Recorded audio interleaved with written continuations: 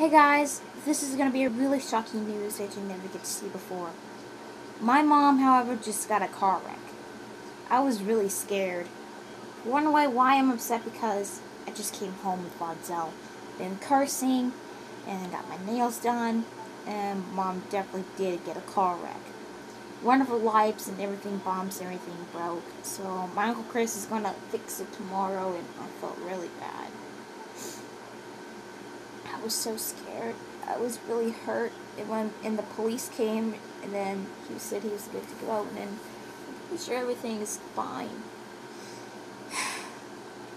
If you haven't seen my video, I did a reaction video to The Nightmare from the Kirsten C. Villa short because of the bankruptcy of Chuck E. Cheese's Chapter 11.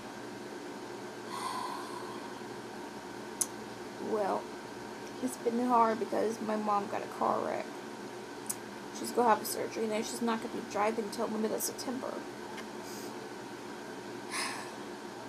Well, that's basically it for now. Thanks for watching and we'll see you later. Please give me to your videos, please. Bye guys.